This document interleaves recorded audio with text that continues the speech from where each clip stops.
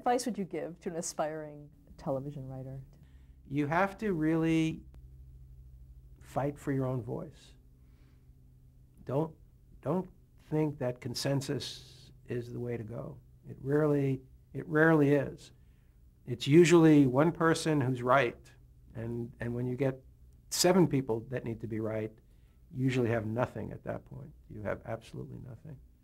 You need one person's right, and a lot of people say you're wrong, and you'll be right. Um, and you know it. There's something in, in you that you can't violate. That's all.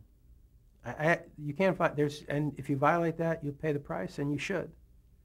What do you think that is in you? Um, there was no. I, I didn't have meanness in the comedy. You know, the times that I tried to be darker or meaner or hipper, it didn't work. You know, uh, it just wasn't where I came from, and uh, and even sometimes the writers would say, "Boss, nobody says I love you. You know, you can't say that anymore." And I go, "Well, we're going to say it. You know."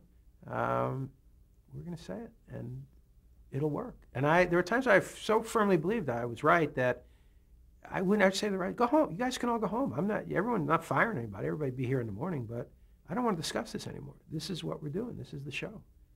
I understand that you don't think it's funny, but I do, and it's on my shoulders. The good news is, if it doesn't work, nothing bad happens to any of you. You know. Um, you know, there was a thing that my brother used to do to me that, that we put in the show where my brother, who was my champion forever, five years older, never diminished me, always brought me along, you know. Just my, my biggest fan since the day I was born, and we're as close as ever. It was one thing, I was very emotional as a kid. I used to cry a lot. I used to cry when the Dodgers lost, you know, anything to do with animals, you know, and the guys were saying I was a homo. My mother said I was sensitive, you know. But uh, the one thing was the song Old Shep where, about the dog who gets who dies has to go to doggy heaven. That would always make me cry. And on slow days, my brother would say to his friends, "Hey, you want to come up and see my kid brother cry?" And they would hold me down and get the Victrola out of the closet, put on Old Shep. I would cry. Everybody go, "Okay," and then they go out and have a malted, you know.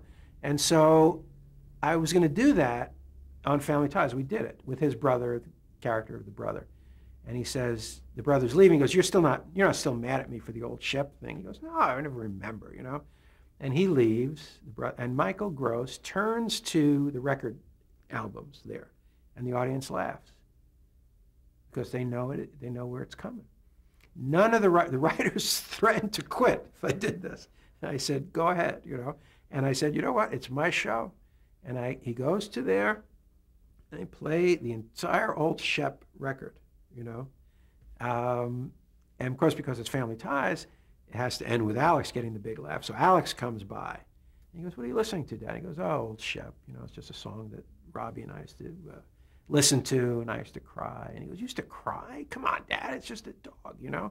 And then Alex is starting to walk out, and he gets caught up by the song, and then, then he turns back. He goes, they shot him? he starts crying. You know, that was the end of it. But that was it. It was real. Audience, when I say audience knows, audience, here's the advice. Trust the audience. The audience knows what's real. They know what you're doing. They know what's fake. And you have to do what you have to do what's real to you.